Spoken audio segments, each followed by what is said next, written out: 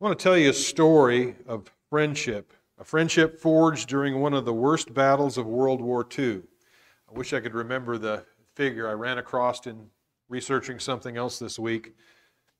Uh, there's not that many, vet, there's a smaller and smaller group of veterans alive from World War II. So, uh, anyway, again, a friendship forged during one of the worst battles of World War II. It's a, and a promise made almost 60 years ago, a promise that was finally kept. Harold Huggins, a U.S. veteran of 10 major campaigns in World War II and the last survivor of his own battalion, traveled halfway across the United States by train on one last mission in memory of his best buddy.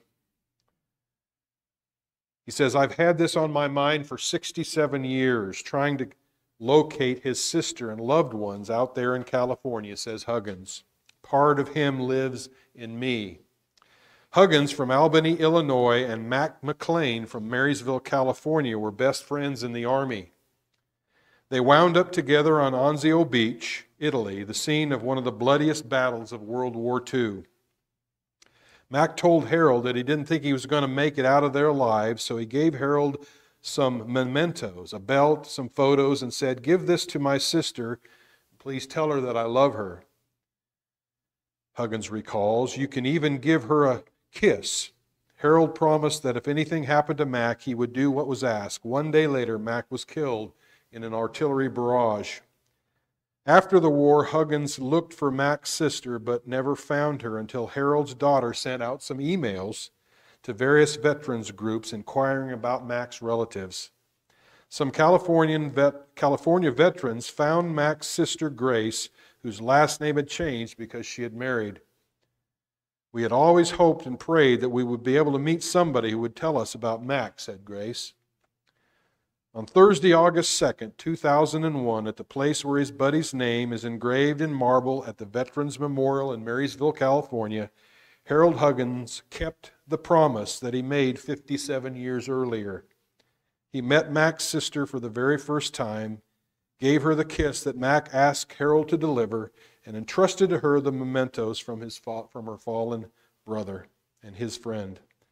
For an old soldier who wouldn't give up his search for a buddy long uh, Buddy's long lost sister, there was a feeling of mission accomplished.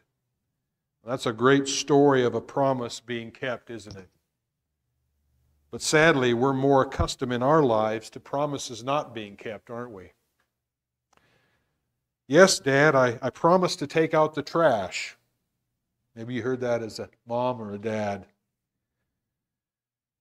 This one's more current, I guess.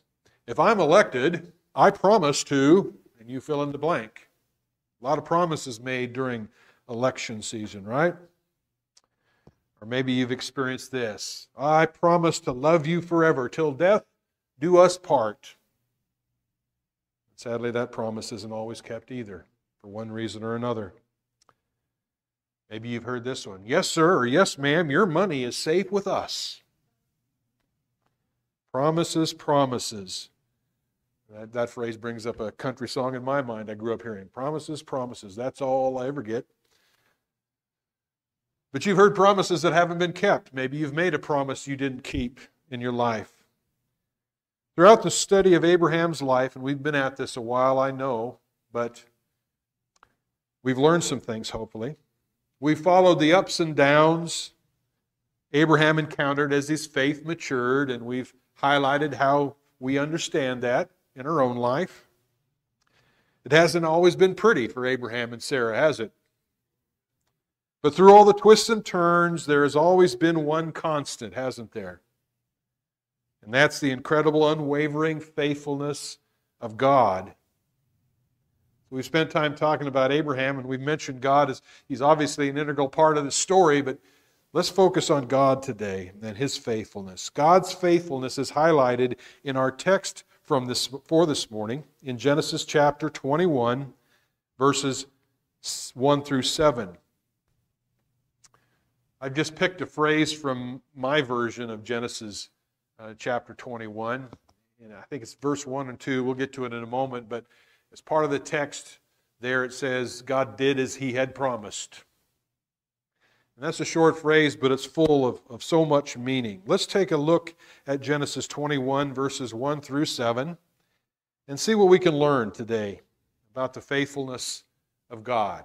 First of all, let's talk about the certainty of God's faithfulness.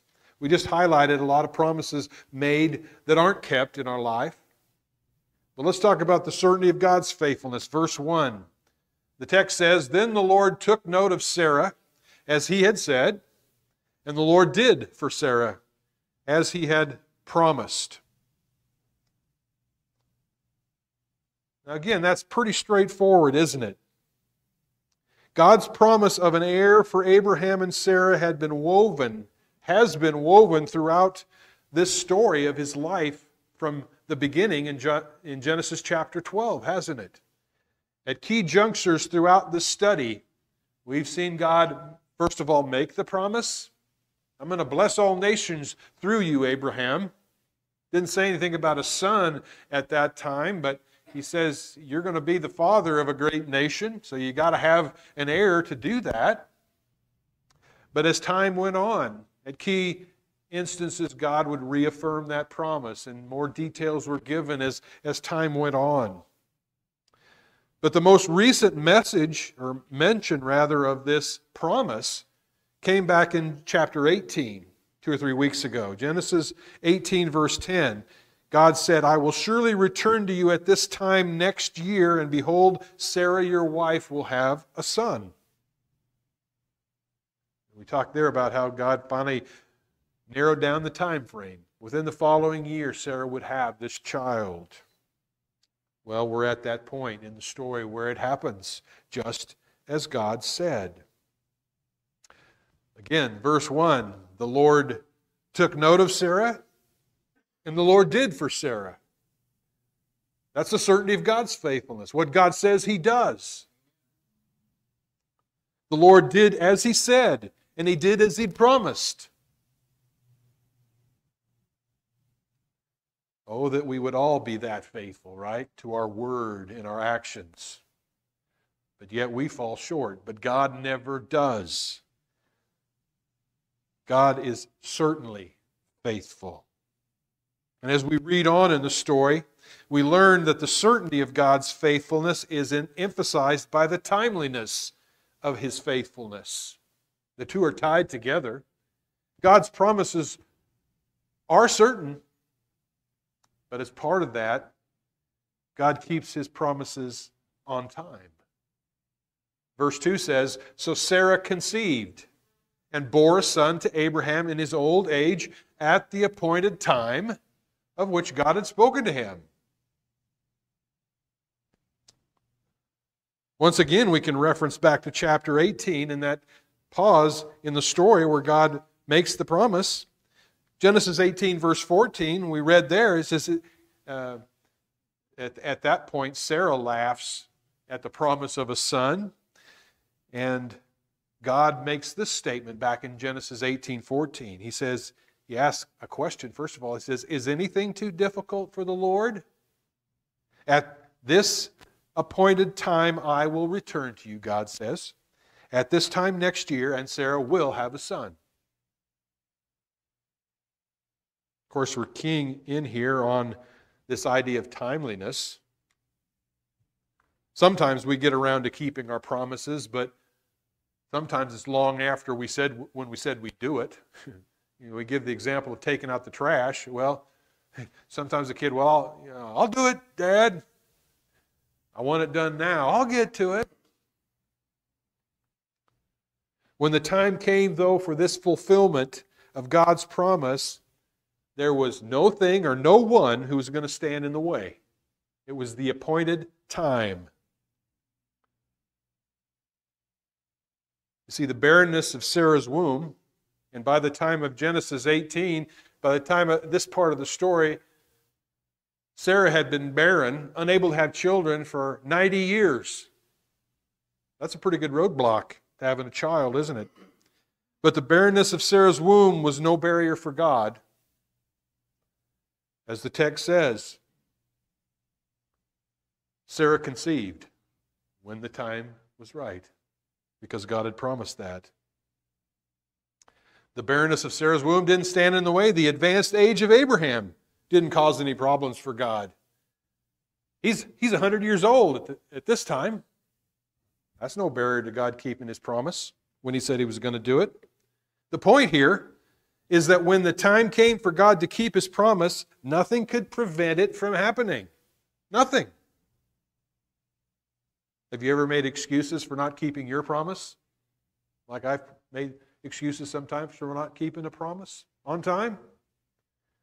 God doesn't need to make excuses because nothing prevents God from doing what he says on time. God had appointed the time of the fulfillment of the promise, and God keeps his appointments. This isn't in my notes, but I just thought of it. It's kind of the way a preacher's mind works. You're talking about something else, and you'll remember a verse. Uh, I think it's Galatians 4, verse 4. At the right time, Christ died for the godly, or for the ungodly, rather. When the time came for the Messiah to be sent, a promise God had made, by the way, guess what? The right time came and it happened because God made a promise. God keeps his appointments. So the certainty and the timeliness of God's faithfulness are unassailable. But what response does that prompt from our man Abraham? Verses 3 and 4, the response to God's faithfulness. On the heels of this amazing fulfillment, and Abraham and Sarah had waited a long time for this. It says, Abraham called the name of his son who was born to him, whom Sarah had bore to him, Isaac. Then Abraham circumcised his son Isaac when he was eight days old, as God had commanded him. You see, God's faithfulness motivates Abraham to be faithful as well. Now, Abraham hasn't always been faithful, he's doubted God at some key points in this story. But God's faithfulness here motivates Abraham to act faithfully, doesn't it? The patriarch has had his issues with his own faithfulness. But the birth of the promised son at last prompts, prompts immediate actions of faith on his part. Number one, he gives the boy the name God had wanted him to have, right? Back in Genesis 17, verse 19, God had said, No, your wife Sarah is going to have bear you a son, and you will name him Isaac. The time has come for Abraham to make good on that. And he does it right away. Good for Abraham. Abraham isn't debating another name at this point. God's been faithful, so Abraham says, I, I want to be faithful. He also follows God's instructions concerning circumcision. We read that and studied that back in chapter 17 of Genesis as well. Verses 9 and 10, God had given the instructions for Abraham to circumcise his household, and he did it for those who were alive at that time, but the time has come now eight days after birth, for this young son of promise to be circumcised. See, a faithful God seeks faithfulness from those blessed by his promises. In spite of his past failures, Abraham wastes no time now as he seeks to honor God by faithfully obeying his commands, right? Abraham did, as the end of verse seven or verse five, four says, as God had commanded him. That's the re- proper response to the faithfulness of God, a willingness on our parts as God's children to faithfully do what He tells us to do. But the text ends in verses. Where are we at here? Whoops. Well, I did it this week too. You should have on your screen verses 5 through 7. But I'll. Oh, that is. Okay, I just didn't change the verses there. Got it. Let's finally talk about the joy over God's faithfulness. And it's a fitting end to this part of chapter 21. God's promises are certain, they're timely, and they prompt faithfulness on the part of those he blesses by keeping his promises. But note the joy that comes. Verses 5 through 7 says, Now Abraham was 100 years old when his son Isaac was born to him. Sarah said, God has made laughter for me. Everyone who hears will laugh with me. And she said, Who would have said to Abraham that Sarah would nurse children? Yet I have borne him a son in his old age. Once again, the improbability of this birth is brought to the forefront. We've seen hints of that throughout the story, haven't we? This truly is, humanly speaking, this was an impossibility. But an impossibility can't stand in the face of a promise of God. A, a nomad here, that's Abraham, a hundred years old, has become the father of a newborn son. What are the chances of that? Not very high. A 90 or 91 year old woman has, who has been barren her entire life has now given birth. No one expected this. Even those to whom the promise was made, Abraham and Sarah doubted it more than once. In fact, they laughed at it, didn't they? Remember, both Abraham and Sarah laughed in disbelief earlier at the prospects of this promise being kept. Genesis 17, verse 17, is when Abraham laughed, and chapter 18, verse 12, is when Sarah laughed. So we've had laughter in this story before the laughter of disbelief.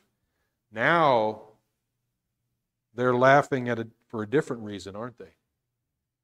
Their laughter is an overflow of the joy in their hearts at God's faithfulness in keeping his promise. In essence, as I, as I read these words of Sarah in verses 6 and 7, it's almost as if they're saying, God did it. God did it. It's incredible. God's given us a child. Who would have said this could happen? They're overflowing with joy that this faithful God who's kept his promises faithfully. Brothers and sisters, I want to remind us all this morning that we serve a God who keeps every single promise he makes.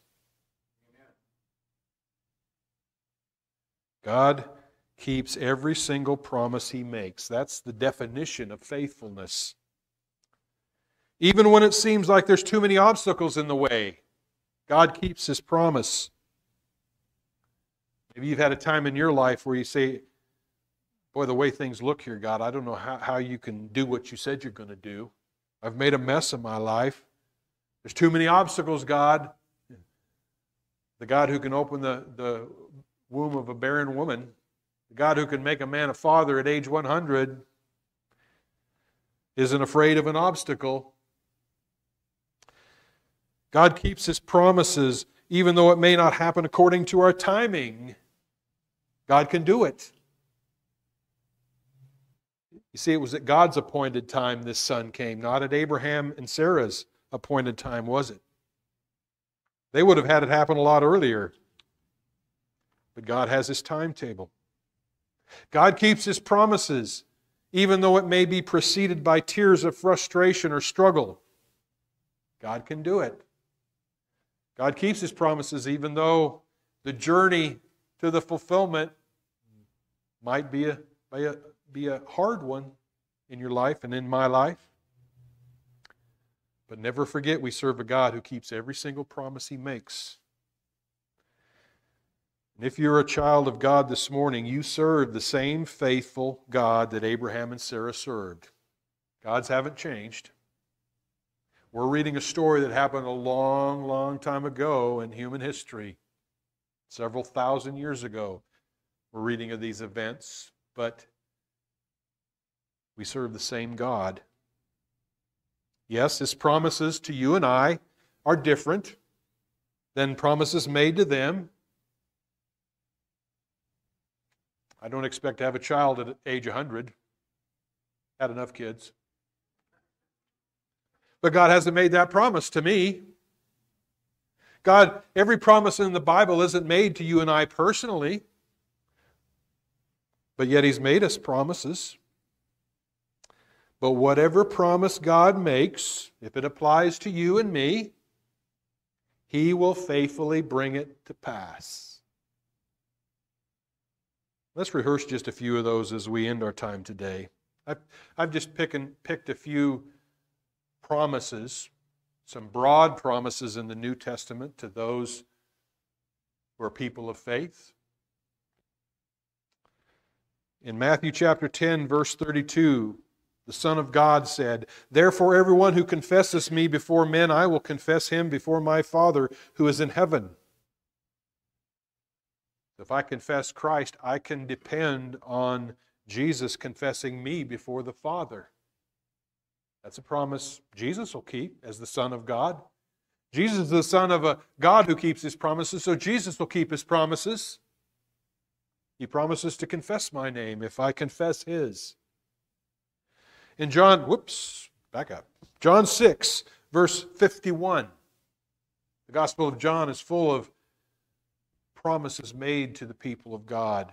John 6, 51 says, Jesus says, I am the living bread that came down of, out of heaven. If anyone eats of this bread, he will live forever. And the bread also which I give for the life of the world is my flesh. In context, there, that's not a reference to the Lord's Supper, I, I believe. It's a reference to Jesus saying, You've got to believe in me. You've got, if you will, to consume me by faith, to have life. And he says, If anyone eats me, you will live. Later in John 8 51, this time Jesus says, Truly, truly, I say to you, if anyone, so these are, these are widespread promises, anybody, Jesus says, if anyone keeps my word, he will never see death. So Jesus has to be talking there about spiritual death, right? Because there's been faithful people throughout history who have died physically. But that doesn't mean they're lost eternally. If I'm faithfully endeavoring to keep the Word of God, Jesus promises I will never die. That, that's spiritual death. I'm alive forever as a child of God, and you are too, spiritually. If I'm endeavoring to keep His Word, God, Jesus can keep that promise. John 10, verse 9, Jesus says, I am the door. If anyone comes through me, he will be saved and go in and out and find pasture. It sounds a lot like what J- Jesus said in John 14, 6. I am the way, the truth, and the life. If anyone comes to the Father through me, that's salvation. Anybody who enters through Jesus has the promised salvation that God makes. John 14, 23, Jesus answered and said to him, If anyone loves me, he will keep my word, and my Father will love him, and we will come and make our abode with him. There's a promise of God and his Son. For anybody, if we love God, he'll love us. Then James chapter 1 verse 12. James says, Blessed is the man who perseveres under trial, for once he has been approved, he will receive the crown of life which the Lord has promised to those who love him. So if we bear up under trial, not surrendering, surrendering our faith, we have the promise of the crown of life promised by God, promised by the Lord. That's a promise God will keep. Finally, Acts chapter 2, verses 38 and 39. Probably all of you could rehearse it by memory. Remember on the day of Pentecost, Peter said to the crowd who cried out, What must I do? What must we do to be saved? They'd just been convicted of the fact that they'd crucified the Messiah God had sent to them. Who wouldn't throw up their hands and say, What am I going to do now? Peter says, Repent each one of you and be baptized in the name of Jesus Christ for the forgiveness of sins, and you will receive the gift of the Holy Spirit. For the promise is for you and your children and for all who are far off, as many as the Lord will call to himself.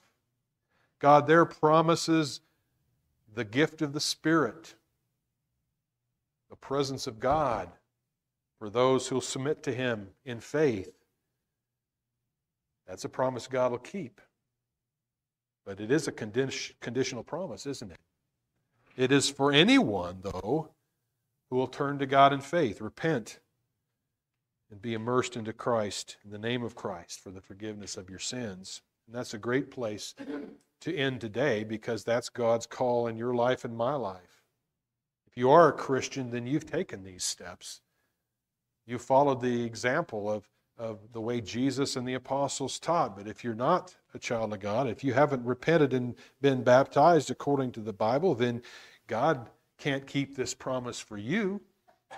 God won't give his spirit to those who haven't submitted in faith. So that's his call this morning for those who aren't part of God's family.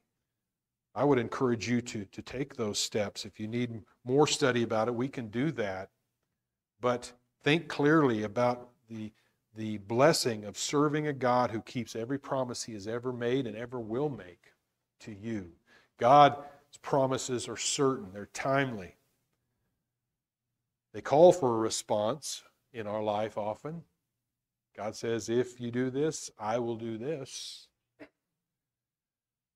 But imagine the joy you can have knowing that your sins have been forgiven, that you have the eternal life that Jesus promised God would give you, the crown of life itself that you can wear before the throne of God eternally. Think about that as we stand and sing.